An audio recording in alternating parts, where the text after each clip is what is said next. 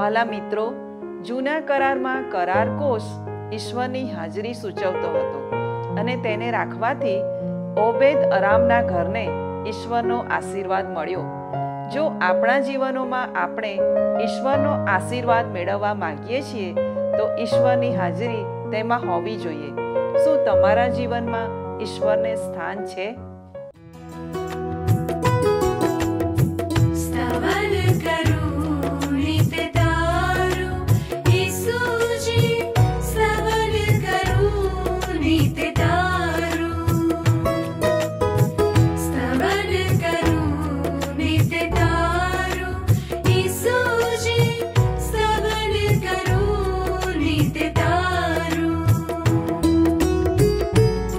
सवारे साधु सुनि महिमा करु प्रभु तारो। महिमा करु प्रभु तारो।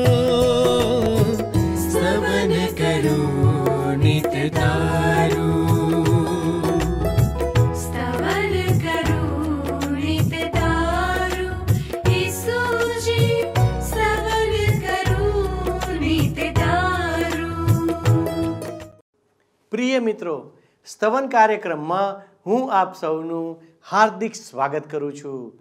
સ્તવન કાર્યક્રમ એ ઈશ્વરના જીવંત વચન, બાઇબલનો પદ્ધતિસર અભ્યાસ છે. જેમાં આપણે પવિત્ર શાસ્ત્રના દરેક ભાગનો કલમ પ્રમાણે અભ્યાસ કરીએ છીએ. ઈશ્વરનું વચન અદ્ભુત છે. જ્યારે આપણે તેને યોગ્ય રીતે સમજીએ છીએ, ત્યારે આપણા મનો આનંદથી ભરપૂર થઈ જાય છે. તે ઈશ્વરના અગમ્ય જ્ઞાનને પ્રગટ કરે છે. પ્રભુના એક સેવકે આ પ્રમાણે કહ્યું છે. જ્યારે આપણે બાઇબલ વાંચીએ છીએ અથવા તેનું મનન કરીએ છીએ, ત્યારે આપણા મનમાં એક સિદ્ધાંત હોવો જોઈએ કે પ્રભુ ઈસુ ખ્રિસ્ત સમગ્ર બાઇબલનું કેન્દ્ર છે. વાલા દર્શક મિત્રો, જ્યાં સુધી આપણે ઈસુને કેન્દ્ર સ્થાને રાખીને તેને સમજવાનો પ્રયત્ન કરીએ છીએ, ત્યારે તે આપણને આધ્યાત્મિક જ્ઞાન પૂરું પાડે છે. તેથી તેને ધ્યાનપૂર્વક વાંચવું જોઈએ. આજે આપણે બીજા સમુએલના છઠ્ઠા અધ્યાયનો અભ્યાસ કરીશું. મિત્રો, જેમાં જૂના કરારમાં ઈસુ ખ્રિસ્તને ખૂબ જ નજીકથી જોઈશું. ઈશ્વરે દાઉદની સાથે જે કરાર કર્યો હતો, તે પ્રભુ ઈસુ ખ્રિસ્તના જન્મ સાથે પૂરો થાય છે.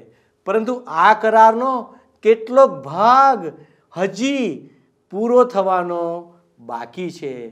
તે બાઇબલની સત્યતાને પ્રગટ કરે છે અને તે જ બાઇબલ અભ્યાસને આનંદદાયક બનાવે છે. આજના અભ્યાસ દ્વારા આ બાબત વધારે સ્પષ્ટ થશે. તો ચાલો દર્શકો, આજના અભ્યાસની શરૂઆત કરીએ. વાલા મિત્ર, હવે આ દિવસોમાં તમે જાણો છો એમ આપણે બાઇબલમાં જૂના કરારના વિભાગમાં આવેલ શમુએલના બીજા પુસ્તકનો અભ્યાસ કરી રહ્યા છીએ. ગત સ્તવન કાર્યક્રમમાં આપણે શમુએલના બીજા પુસ્તકના પાંચમા અધ્યાયનો અભ્યાસ પૂરો કર્યો હતો. આજે મિત્ર આપણે છઠ્ઠા અધ્યાયનો અભ્યાસ કરવા માંગીએ છીએ. હવે આપણે જોઈએ તો સમુએલના બીજા પુસ્તકના છઠ્ઠા અધ્યાયમાં યહોવાના કરાર કોષને યરુશાલેમમાં લાવવા પાછળ દાઉદના સાચા અને ખોટા એમ બે પ્રકારના પ્રયાસોનું વર્ણન કરવામાં આવ્યું છે.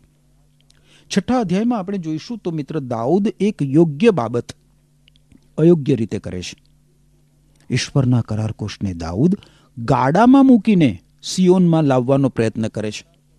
હવે ઈશ્વરે તો કરાર કોષને એક સ્થળેથી બીજે સ્થળે લઈ જવા માટે ચોક્કસ સૂચનાઓ આપી હતી. લેવી કુળના કહાથીઓ. એ કહાથીઓએ ઈશ્વરના કરાર કોષને પોતાના ખભા ઉપર ઊંચકીને તેનું સ્થળાંતર કરવાનું હતું. બાઇબલમાં આપણે ગણનાના પુસ્તકનો અભ્યાસ કર્યો હતો સાતથી નવ અધ્યાયોમાં, સાતમો, આઠમો અને નવમો અધ્યાય.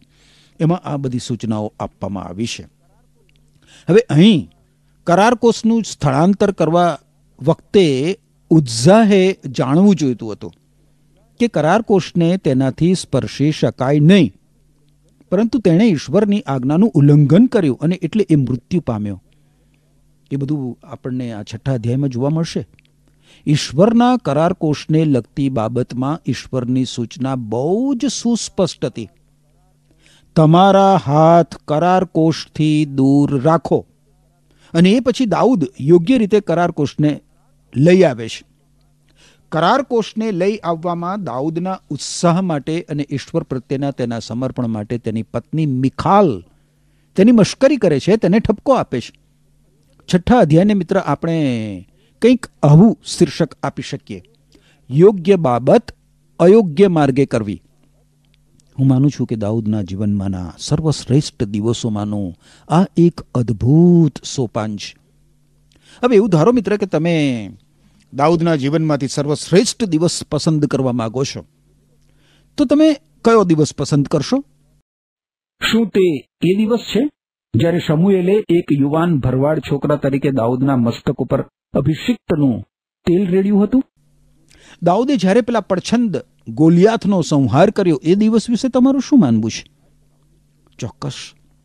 સાઉલની દીકરી મિખાલ સાથે તેના લગ્ન થયા ત્યારે તેના પ્રથમના પ્રેમનો દિવસ થોડોક વિચાર માગી લે છે. કદાચ તમે એ દિવસ પસંદ કરો. જ્યારે દાઉદ શાઉલથી નાસી છૂટ્યો. એ પછી કદાચ સાઉલ મૃત્યુ પામ્યો. એ દિવસ પર તમે તમારી પસંદગી ઉતારો. કારણ કે શાઉલના મૃત્યુનો અર્થ તો એ થતો હતો કે હવે દાઉદ રાજગાદી ઉપર આવી જશે. તમે કદાચ એ દિવસ પસંદ કરો જ્યારે દાઉદને સમગ્ર ઇઝરાયેલી રાષ્ટ્રો ઉપર રાજા બનાવવામાં આવે છે અને તેના મસ્તક ઉપર રાજ મુગટ મૂકવામાં આવે છે? કદાચ તમે એ દિવસનું પણ સૂચન કરી શકો? જ્યારે દાઉદના દીકરા આપશાલોમે દાઉદ વિરુદ્ધ બળવો પોકાર્યો હતો અને પરિણામે એ આપશાલોમની કતલ થઈ હતી? અથવા તો દાઉદના દીકરા સુલેમાનને રાજા બનાવવામાં આવ્યો એ દિવસને તમે પસંદ કરો? હા, ચોક્કસ. આ બધા જ દિવસો મહાન દાઉદના જીવનમાં મહાન દિવસો હતા. પણ હું માનું છું, મિત્ર, કે દાઉદના જીવનમાં બનેલી બધી જ મહાન ઘટનાઓમાં સૌથી મહાન એવી બે ઘટનાઓ હતી. પ્રથમ ઘટના દાઉદ જ્યારે યરુશાલેમમાં ઈશ્વરનો કરાર કોષ લાવ્યો એ દિવસ હતો. અને બીજી ઘટના, દાઉદે જ્યારે ઈશ્વર માટે ઘર બાંધવાની પોતાના હૃદયમાં ઈચ્છા પ્રગટ કરી એ દિવસ. દાઉદના જીવનમાં સંભવતઃ આ બે મહાન દિવસો છે. હવે ઈશ્વરનો કરાર કોષ ઈશ્વરના લોક મધ્યે ઈશ્વરની હાજરી સૂચવતો હતો. મુલાકાત મંડપમાં અને એ પછી ઈશ્વરના મંદિરમાં જે સાધન સામગ્રી હતી અને જુદી જુદી સાધન સામગ્રીનું જે સ્થાન હતું, એ તરફ મિત્ર, હવે હું તમારું ધ્યાન દોરવા માંગુ છું. આંગણામાં તમે જુઓ તો દહન અર્પણ માટેની વેદી અને પિત્તળનો હોજ હતા. ત્યાં મનુષ્યના પાપ સાથે કામ પાર પાડવામાં આવતું હતું. એ પછી પવિત્ર સ્થાન આવતું હતું? પવિત્ર સ્થાનનો વિભાગ શરૂ થતો હતો? એમાં ત્રણ વસ્તુઓ હતી. અને એ ત્રણેય વસ્તુઓ આરાધના ભક્તિ અને પ્રભુ ઈસુ ખ્રિસ્ત વિશે સૂચન કરતી હતી. સોનાનું દીપવૃક્ષ, સોનાની વેદી અને અર્પિત રોટલીનું મેજ. એ પછી પરમ પવિત્ર સ્થાનમાં, પરમ પવિત્ર સ્થાનમાં ઈશ્વરનો કરારકોશ હતો. અને એ કરારકોશ ઉપર ઈશ્વરનું દયાસન હતું. આ સ્થળમાં ઈશ્વર તેમના લોકની મુલાકાત લેતા હતા. હું માનું છું મિત્ર કે જૂના કરારમાં ઈશ્વરનો કરાર કોષ એ પ્રભુ ઈસુ ખ્રિસ્તનું સર્વશ્રેષ્ઠ ચિત્ર છે. ઈશ્વરે ચિતરેલું ખરેખર તો એ એકમાત્ર ચિત્ર છે. કરાર કોષ દેવદારના લાકડામાંથી બનાવવામાં આવેલી એક પેટી માત્ર હતો, જેની અંદરની અને બહારની બાજુ સોનાથી મળેલી હતી. હવે ઈશ્વરનો કરાર કોષ જે ઈશ્વરની હાજરી દર્શાવતો હતો, એ ઇઝરાયેલી પ્રજા માટે અવરોધરૂપ બની ગયો. કારણ કે આ ઇઝરાયેલી લોકો કરાર કોષને પછી તો અંધશ્રદ્ધાથી જોતા થઈ ગયા. એ લોકો એવું માનતા હતા કે એ લાકડાની પેટીમાં કશુંક પરાક્રમ છે. એ લાકડાની પેટીમાં કંઈક લાયકાત છે. ખરેખર એવું નહોતું. એ તો એકમાત્ર ચિહ્ન હતું. પ્રભુ ઈસુ ખ્રિસ્તના એક છાયાચિત્ર રૂપે એ પેટી સોનાની બનેલી હતી, જે પ્રભુ ઈસુ ખ્રિસ્તના ઈશ્વરત્વનું સૂચન કરતી હતી અને એ પેટી લાકડાની પણ બનેલી હતી, જે પ્રભુ ઈસુ ખ્રિસ્તના મનુષ્યત્વનું સૂચન કરતી હતી. અને એટલે એ ઈસુ ખ્રિસ્તના અદ્ભુત નમૂનાનું ચિહ્ન હતી, કારણ કે પ્રભુ ઈસુ ખ્રિસ્ત ઈશ્વર માનવ હતા. તમને કદાચ યાદ હશે કે સમુએલના સમયમાં પલિસ્તી લોકોએ ઈશ્વરનો કરાર કોષ પોતાને કબજે કરી લીધો હતો. અને કરાર કોષ વિશે એ લોકો પુષ્કળ અંધશ્રદ્ધાળુ બની ગયા હતા. અંધશ્રદ્ધાળુ. એ લોકોએ ઈશ્વરનો કરાર કોષ એક ગાડામાં મૂકીને ઇઝરાયલમાં પાછો મોકલી આપ્યો અને અબીનાદાબના ખેતરમાં એને છોડી દીધો. અને એ પછી એ વિસ્તારમાં ઈશ્વરનો આ કરાર કોષ સિત્તેર વર્ષો સુધી રહ્યો. હવે દાઉદે જ્યારે યરુશાલેમ શહેર જીતી લીધું ત્યારે તે કરારકોશને ત્યાં લાવવા માંગતો હતો, કારણ કે એ માનતો હતો કે કરારકોશનું યોગ્ય સ્થાન યરુશાલેમમાં જ છે. ઈશ્વરે પણ એ જ સ્થાન પસંદ કર્યું હતું. રાજાને એક સૂચના આપવામાં આવી હતી. પુનર્નિયમનું પુસ્તક જુઓ, સોળમો અધ્યાય, સોળમી કલમ. શું કહે છે અહીંયા? વર્ષમાં ત્રણ વાર તારા બધા પુરુષો જે સ્થળ યહોવા તારો દેવ પસંદ કરે ત્યાં તેની હજુરમાં રજૂ થાય. એટલે બે ખમીર રોટલીના પર્વમાં તથા અઠવાડિયાના પર્વમાં તથા માડવા પર્વમાં. અને તેઓ ખાલી હાથે યહોવાની હજુરમાં હાજર ન થાય. આ સૂચના રાજાને ઈશ્વરે આપી હતી. હવે દાઉદે જ્યારે યરુશાલેમ શહેર જીતી લીધું ત્યારે તેને એણે પાટનગર બનાવ્યું. અને યરુશાલેમની પશ્ચિમે આઠ માઇલ દૂર કિરિયાર્થ યારીમમાં ઈશ્વરનો એ કરાર કોષ હતો. ગીતશાસ્ત્રના નવમા અધ્યાયમાં દાઉદ કહે છે કે, હે ઈશ્વર, હું મારા પૂરા અંતઃકરણથી તારી સ્તુતિ કરીશ. દાઉદે ઈશ્વર પ્રત્યેનું પોતાનું સમર્પણ એના હૃદયના ઉડાણમાંથી અત્યંત અદ્ભુત રીતે પ્રદર્શિત કર્યું છે. ગીતશાસ્ત્રનું પુસ્તક છે એનો એકસો આઠ નંબરનો અધ્યાય તમે જુઓ. ગીત શાસ્ત્રનું પુસ્તક એકસો આઠ નંબરનો અધ્યાય. એની પહેલી કલમમાં દાઉદ કહે છે કે, હે ઈશ્વર, મારું હૃદય દ્રઢ છે. હે, મારા ખરા અંતઃકરણથી ગાયન કરીને તારી સ્તુતિ કરીશ. શું કહે છે? હે ઈશ્વર, મારું હૃદય દ્રઢ છે. હું મારા ખરા અંતઃકરણથી ગાયન કરીને તારી સ્તુતિ કરીશ.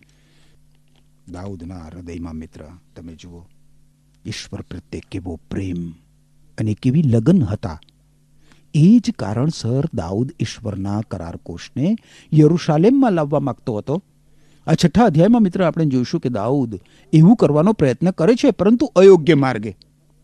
છઠ્ઠા અધ્યાયની પ્રથમ સત્તર કલમોમાં કરાર કોષનો ઉલ્લેખ પંદર વખત થયો છે, પંદર વખત ઈશ્વરના કરાર કોષને યરુશાલેમમાં લાવવા વિશે અગિયાર ગીતોની રચના કરવામાં આવી હતી, મિત્ર. એક બાબત ચોક્કસ છે. કરાર કોષ વિશે દાઉદમાં કોઈ અંધશ્રદ્ધા નહોતી. દાઉદ જાણતો હતો કે ઈશ્વર ક્યાં છે અને ઈશ્વર કરાર કોષની પેટીમાં નથી એ પણ દાઉદ જાણતો હતો. ગીતશાસ્ત્રનું પુસ્તક તમે જુઓ, એનો એકસો ત્રેવીસમો અધ્યાય તમે જુઓ. એની પહેલી કલમમાં શું કહે છે? હે આકાશમાં બિરાજનાર ઈશ્વર હું તારી ભણી મારી આંખો ઊંચી કરું છું. દાઉદ જાણે છે કે ઈશ્વર ક્યાં છે? અને દાઉદ એ પણ જાણતો હતો કે કરારકોશની મારફતે ઈશ્વર પાસે જઈ શકાતું હતું, કારણ કે કરારકોશ એ ઈશ્વર અને મનુષ્ય વચ્ચેના મધ્યસ્થ પ્રભુ ઈસુ ખ્રિસ્તનું સૂચન કરતો હતો.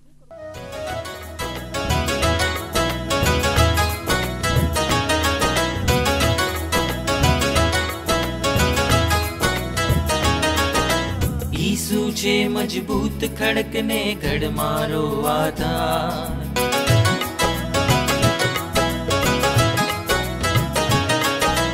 ઈસુ છે મજબૂત ખડકને ઘડ મારો આધાર ઈસુ છે મજબૂત ખડકને ઘડ મારો આધાર તેની ઉપર બાંધી આપણું જીવન તણું મકાન. તેની ઉપર બાંધીએ આપણું જીવન તણું મકાન, જીવંતણું મકાન જીવંતણું મકાન. ઈસુ છે મજબૂત ખડકને ખડ મારો આધાર. ઈસુ છે મજબૂત ખડકને ખડ મારો આધાર.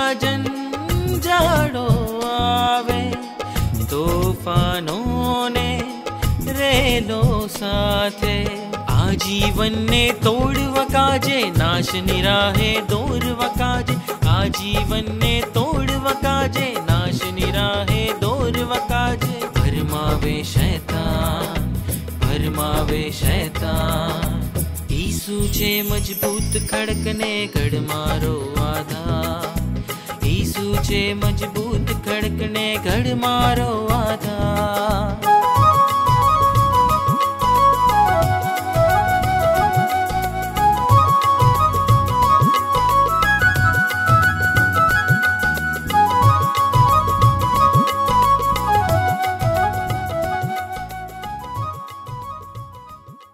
હવે જુઓ દાઉદ શું કરવા માગતો હતો? છઠ્ઠો અધ્યાય, એકથી ત્રણ કલમો. જુઓ, મારી સાથે સાથે સમુએલનું બીજું પુસ્તક, છઠ્ઠો અધ્યાય, એકથી ત્રણ કલમો. દાઉદે ઇઝરાયલમાંથી ચૂંટી કાઢેલા સર્વ માણસોને ફરીથી એકઠા કર્યા. તે ત્રીસ હજાર હતા અને દાઉદ ઉઠ્યો અને પોતાની સાથેના સર્વ લોકોને લઈને નામથી ઓળખાતા, એટલે કરુબો પર બિરાજનાર સૈન્યોના યહોવાના નામથી ઓળખાતા દેવના કોષને જ્યાં તે હતો, ત્યાંથી લાવવા સારું તે બાએલ યહુદાથી નીકળ્યો. તેઓ દેવના કોષને એક નવા ગાડામાં મૂકીને ગિબઆહમાં અબિનાદાબનું ઘર હતું ત્યાંથી લાવતા હતા અને અબિનાદાબના દીકરા ઉઝ્ઝાહ તથા આહ્યો તે નવું ગાડું હાંકતા હતા. દાઉદે મોટી ભૂલ કરી. ઈશ્વરે મુલાકાત મંડપ અને તેમાંની ચીજ વસ્તુઓનું સ્થળાંતર કરવા માટે ખાસ સૂચનાઓ આપી હતી. દાઉદે એ સૂચનાઓનો અમલ કર્યો નહીં.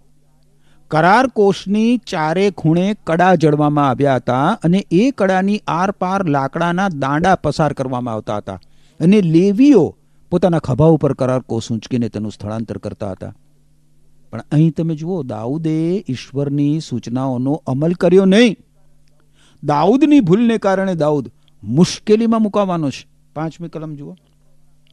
અને દાઉદ તથા ઇઝરાયેલના આખા ઘરના લોકો દેવદારના લાકડાના સર્વ પ્રકારના વાજિંત્રો અને વીણા સતાર ડફ કરતાલ તથા ઝાંઝ યહોવાની આગળ વગાડતા હતા. દાઉદ એક સંગીતકાર હતો મિત્ર. દાઉદ કરારકોશને યરુશાલેમમાં સંગીતની ભરમાર સાથે લાવે છે. છઠ્ઠી અને સાતમી કલમ જુઓ. તેઓ નાખોનના ખડા પાસે આવ્યા ત્યારે ઉઝ્ઝાહે દેવના કોષ તરફ હાથ લાંબો કરીને તે પકડ્યો કેમ કે બળદોએ ઠોકર ખાધી હતી. અને યહોવાનો કોપ ઉઝ્ઝાહ પર સળગ્યો અને ત્યાં દેવે તેને તેના અપરાધને લીધે માર્યો અને ત્યાં તે દેવના કોષ આગળ મરણ પામ્યો. આ પરિસ્થિતિ બહુ જ ગંભીર છે, મિત્ર. કરાર કોષ ગાળામાં હતો અને બળદો ગાળાને આમ તેમ હલાવી રહ્યા હતા. ઉઝિયાહે જ્યારે કરાર કોષને સ્થિર કરવાનો પ્રયત્ન કર્યો, ત્યારે ઈશ્વરે તેનું મૃત્યુ નિપજાવ્યું. ઉઝ્ઝાના મૃત્યુથી દાઉદને એટલી તો અસર થઈ કે તેણે કૂચ થંભાવી દીધી અને કરારકોશને ઓબેદ અદોમના ઘરમાં મૂકી દીધો. આઠમી અને નવમી કલમ જુઓ. યહોવા ઉઝ્ઝા પર તૂટી પડ્યો હતો, તેથી દાઉદને માઠું લાગ્યું અને તેણે તે જગાનું નામ પેરેસ ઉઝ્ઝા પાડ્યું. તે નામ આજ સુધી ચાલે છે. દાઉદને તે દિવસે યહોવાનો ડર લાગ્યો અને તેણે કહ્યું કે યહોવાનો કોષ મારી પાસે કેમ કરીને આવી શકે? આ ઉપરથી તમને નથી લાગતું કે મારે અને તમારે ઈશ્વરની બીક રાખવી જોઈએ? ગીતશાસ્ત્રના પુસ્તકના એકસો અગિયારમાં અધ્યાયની દસમી કલમ તમે જુઓ. શું લખ્યું છે ત્યાં? એકસો અગિયારમો અધ્યાય, દસમી કલમ. યહોવાનું ભય ઈશ્વરની બીક.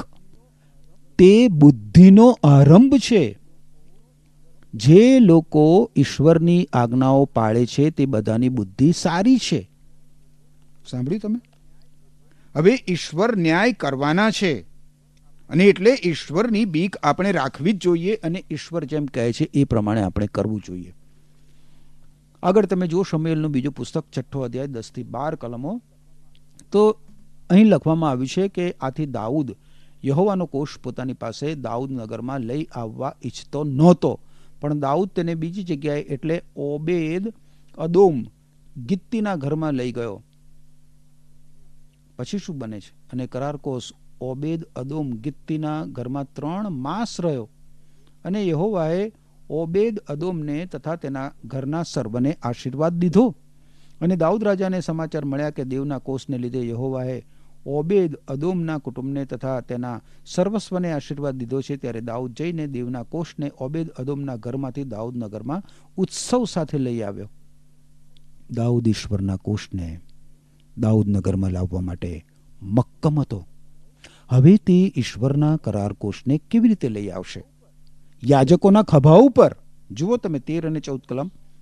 અને એમ થયું કે દેવનો કોષ ઊંચકાનારા છ ડગલા ચાલ્યા એટલે તેણે એક બળદ તથા એક પુષ્ટ પશુનું બલિદાન આપ્યું.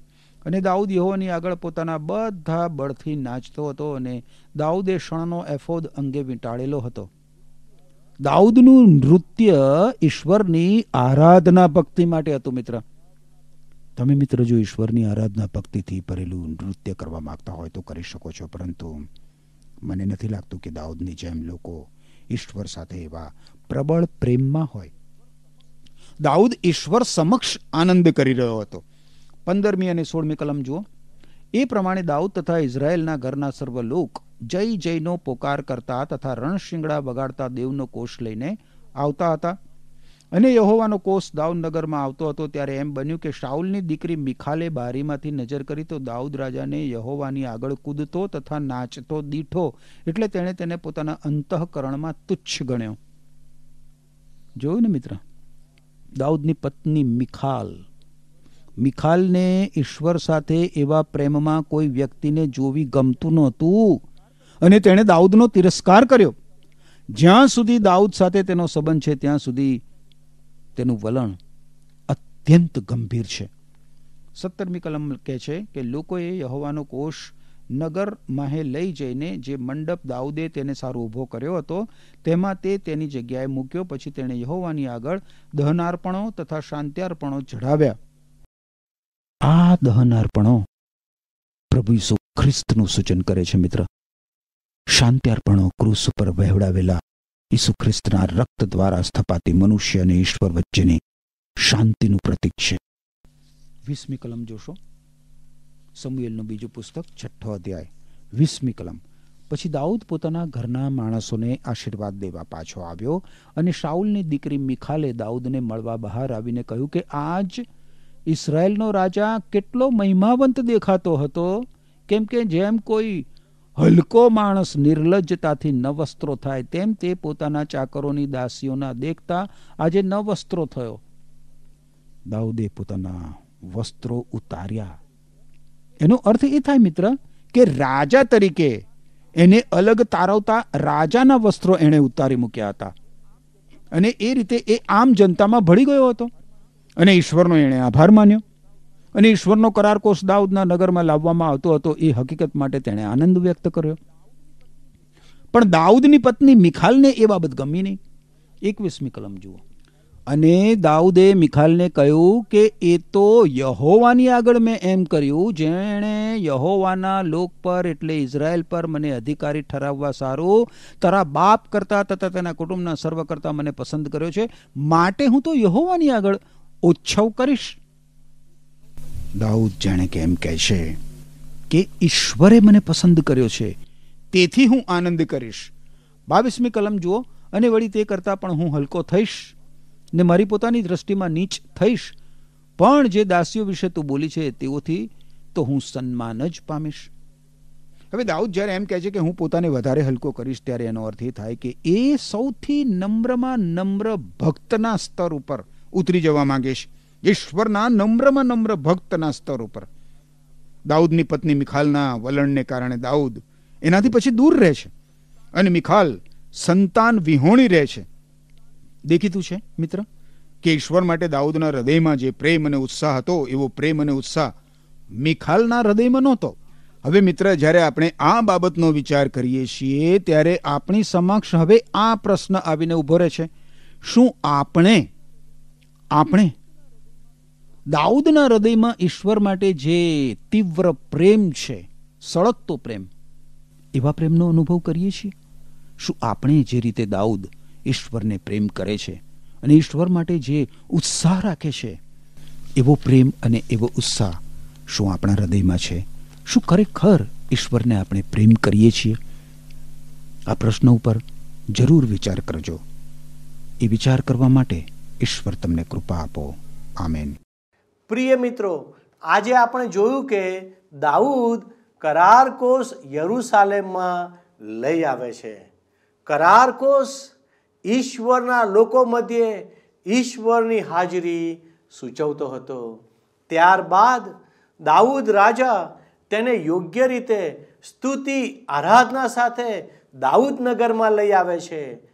ત્યાં દાઉદની પત્ની એટલે કે સાઉલ રાજાની દીકરી મિખાલ દાઉદને ખુશ થતો જોઈને તેને તુચ્છ ગણે છે અને તેના હૃદયમાં કડવાશ વ્યાપી જાય છે. મિત્રો, દાઉદ જીવંત ઈશ્વર સિવાય બીજા કોઈ વિશે વિચારી શકતો ન હતો. દાઉદના જીવનની આ એક ઉત્તમ બાબત હતી. જ્યારે તે મુશ્કેલીમાં હોય, ત્યારે તે ઈશ્વરની મદદની રાહ જોતો અને ક્યારેય અન્ય બાબતો તરફ વળ્યો ન હતો. જ્યારે તે પોતાના શત્રુઓથી મુક્ત થઈને ગુફાઓમાંથી રાજમહેલોમાં રહેવા લાગ્યો, ત્યારે પણ તેણે ઈશ્વરનો ત્યાગ કર્યો નહીં. તેણે કરાર કોષને યોગ્ય જગ્યાએ સ્થાપિત કરવાનો વિચાર કર્યો અને તે સંબંધી વડીલો સાથે ચર્ચા વિચારણા પણ કરી. આજે આપણને ઈશ્વર તરફથી મળેલા ઘર કાર અને તમામ સુખ સુવિધાઓ માટે ઈશ્વરનો આભાર માનીએ તો છીએ. પણ થોડા સમય પછી આપણે તેમના એ આશીર્વાદોને ભૂલી જઈએ છીએ. ખરું ને મિત્રો? આજે આપણે આપણી આસપાસ રહેતા પડોશીઓ સુધી ઈશ્વરનો શુભ સંદેશ લઈ જવાની જરૂર છે. તે કાર્ય આપણે જ કરી શકીએ છીએ. તો મિત્રો આપણે પ્રાર્થના કરીએ કે આપણા કાર્યો દ્વારા, આપણા જીવનો દ્વારા અને આપણને મળેલા આશીર્વાદો દ્વારા આપણે પ્રભુ ઈસુ ખ્રિસ્તને પ્રગટ કરીએ. વાલા દર્શક મિત્રો, જો આ કાર્યક્રમ આપને ગમ્યો છે, તો અમને વોટ્સએપ કે ફોન કરીને જણાવશો, તો અમને ખૂબ આનંદ થશે. ઈશ્વર આપની સાથે રહો. આમેન. મિત્રો, ગત પ્રશ્નોનો જવાબ છે હેબ્રોન.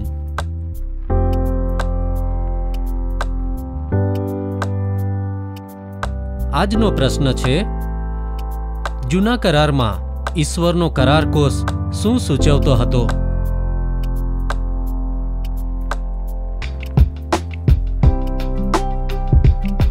જવાબ આપેલ સ્ક્રીન પર દર્શાવેલ વોટ્સએપ નંબર પર આપવાનો રહેશે. કાર્યક્રમ દરમિયાન પૂછેલા પ્રશ્નોનો સાચો જવાબ આપનાર વિજેતાઓના નામ દર મહિનાના પ્રથમ સોમવારે જાહેર કરવામાં આવશે.